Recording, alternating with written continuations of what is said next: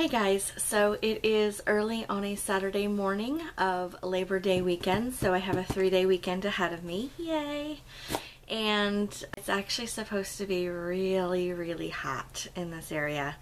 So we're talking, um, I think they're estimating 110 degrees in the area that I'm specifically in. So we had had plans about going out to a local park this weekend, but we've decided to cancel those because of the heat warning and stay indoors and enjoy the air conditioning and maybe get some stuff done. So that's kind of why you see the mess behind me. There's going to be a lot of reorganizing happening this weekend. But I decided to take um, a few minutes at the very beginning of this day before it starts to get really hot and do some unboxings and get some filmings out of the way. So the first thing that we're actually going to take a look at is a Loot Vault mailing. So if you're not familiar already, so Loot Crate, which does a number of different types of boxes, also has kind of a merchandise store. So if you are looking for a past item and don't necessarily want to get the whole subscription box that it came in, you might be able to find that particular item available in their store for a discounted rate. So what they'll do every once in a while is do a flash sale and they'll deeply discount certain items like maybe their figures or their books or something like that where you can really get some amazing deals. Uh, you can get you know t-shirts for like five dollars that sort of thing.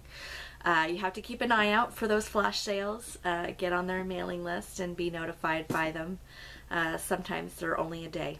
It's obviously based off of whatever they have in inventory so it's a little bit of a crapshoot sometimes. But if you are looking to expand your geeky stuff uh, on a budget, that might be a good option for you to get on their mailing list and keep an eye out for. So, I ordered some items a while ago from the Loot Vault, and they had some delays with shipping due to assorted circumstances. And I actually even forgot that I was expecting this until the whole drama with the Nerd Block and Shirt Punch Company started coming out and I went, wait a minute, I've ordered something from Shirt Punch. Still don't know what's going to happen with that order and nobody's responding to my email. So don't know if I'm going to get it. Don't know if I'm going to get a refund.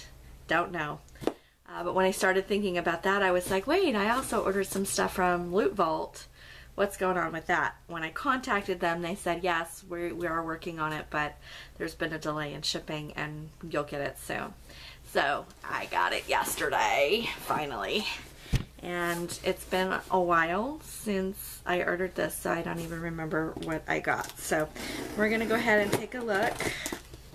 Now I do know that because of the cheap pricing on these items I did specifically get one or two items that I'm going to set aside for my end of year donations to the the local shelter that looks for gifts for teenagers um, because geek, geek stuff is always kind of fun for that age group and they're also the kind of most overlooked age group when it comes to donations at Christmas time. So uh, I try to grab a few things for the teens and this is a great way to do it. So just keep that in mind if you're looking for ways to donate.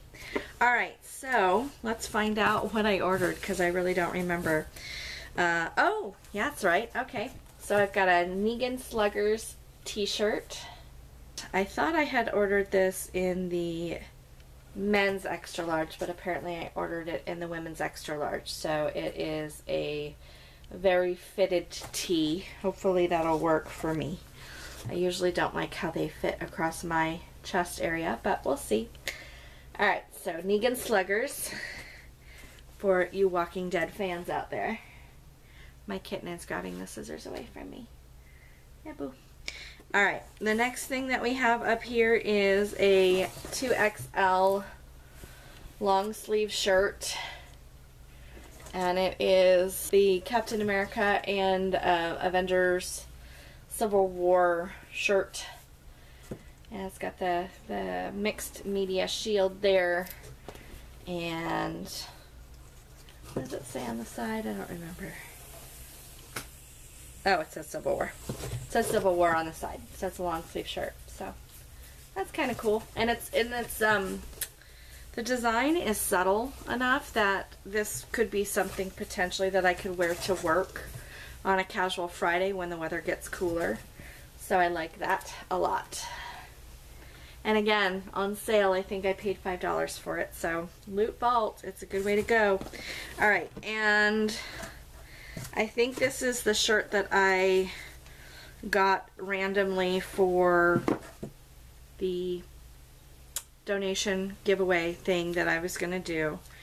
And sometimes you can get a random shirt and it's like really cheap. It's like $3.99 and you just pick a size and they'll send you a random shirt. So if you like a lot of geeky things, that could be an option.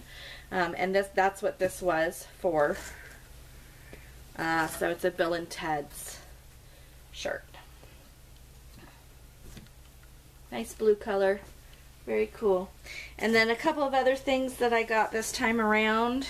Apparently I've got a Loot Vault redemption code that I can check out later. Uh, but I did get a couple of other items. I got the um, Logan Wolverine Metals figure, which was actually in one of their crates earlier this year. There were like two or three variants that were available. And I believe when I went to the Loot Vault, this was the only one that they had left. But I think I got this for like $5, so I was like, why not? Um, it is a metal die cast of Logan as Wolverine. So, very cool. And then the last item that I that I got in this batch is a color changing mug.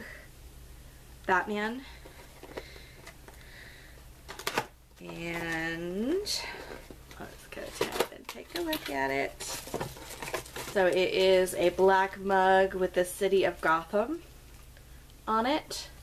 And then I believe it responds to hot liquid. Let's double check. Just says color changing mug. It doesn't specify unless it's in the fine print, which I can't read. But I'm going to assume that it's hot liquid. Uh, and then when you put it in, the bat symbol comes up in the sky. So that is very, very cool. Yay! Vault. So those are all of the items that I got in this Loot Vault haul.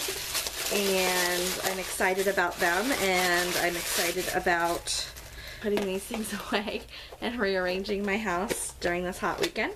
So again, if you are looking for geeky items on a discount, you can't necessarily afford all the subscription boxes that are out there. Loot Vault and the similar types of offerings from different companies might be a good option for you because you can find some really cool stuff at a discount, uh, especially if you're not particularly looking for a specific franchise. So keep that in mind. Check it out. I'll include a link to Loot Vault down below if you want to go set up an account and check it out for yourself. But let me know what you thought. I mean, I think I paid maybe with the coupons and the discounts and I had some rewards points and stuff too. I think for all five of those items I think I might have paid maybe $20. So not too bad, not too bad. Let me know what you think and I'm going to keep filming some other stuff so if you like watching unboxing videos look for this tank top t-shirt in a few videos because I'm going to uh, film a few back to back. So we'll see you in the next video. Bye.